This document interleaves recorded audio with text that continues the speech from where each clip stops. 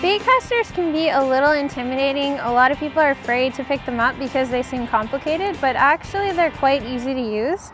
Um, so you have, there's different types of bait casters, um, and this one's got the magnetic system, and all of them will have a tension knob here. So normally I just crank the magnet to 10, um, and then I just tighten up the tension knob. Um, what that will do is it controls how fast the line comes off the reel and that's where you can get into a bit of a mess is when the line's coming off too fast because you need to keep your thumb and control the line. So for casting, there's, there'll be a button, you press the button and just off to the sides, typically easier to cast with.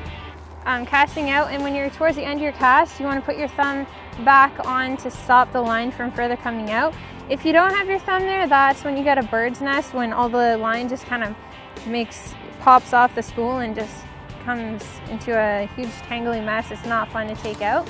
Um, mind you, that does happen to everyone, so if it does happen to you, it's not a big deal, but um, with practice, um, you'll definitely get more comfortable with it. A lot of people will practice off the water, so in the backyard, or if you have you know, high ceilings in your house, just practicing indoors. I definitely recommend that because if you practice a few times, by the time you get out on the water, you'll be a lot more comfortable.